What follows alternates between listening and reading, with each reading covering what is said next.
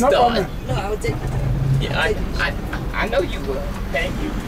That's why I'm, I'm watching where you. It is, you going. see over there, the building on, to the, on the hill? That's where we are going. We'll go there later on to the monument of Je- That is Ducor Hotel, the first five-star hotel ever built in Africa. Is it still operational? You know, it, No, it's, a, it's, a, it's a shell. Oh, Everything you're gonna be dealing with was.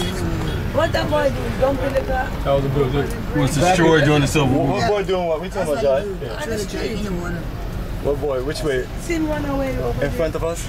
Like he dumped So something over there. Willis.com. you dump, like the garbage, they dump it in the He, water. he explained to me why they can, because the oh. way the, the currents come from the old Atlantic Ocean and whatnot. You see, it's coming from dumping garbage in the water. The guy with the bicycle. But what's the name had a good idea to get them convicts and come here and clean it. That was an excellent idea. You idea. know what those dredges is dredges. There's dredges that can dredge, pull everything out of the bottom. You know, that, you know, cost money. Somebody but done actually- pee on the corner there. Yeah, the thing of it is, um, investment has to be made, and, and especially if people are gonna come and do things. So Right. somebody have to make a sacrifice somewhere to. Got the plates on the thing and You gotta sacrifice some of those cars. That's what Boca Check out do. these pictures. You know, some of those cars and But government Joe to pay expenses, that. salaries, gotta cut that. It's a free, it's free. Incentives and everything. It's a lot.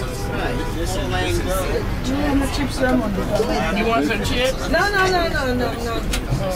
Got nothing on the roadside. No. Now, now we are on the Busher Island. Bushrod Island. Bushrod yes. Island. Uh-huh. The first town here is Vai Town. V-A-R, Vai. Vai is one of the tribes in Liberia. Can you hold for a second?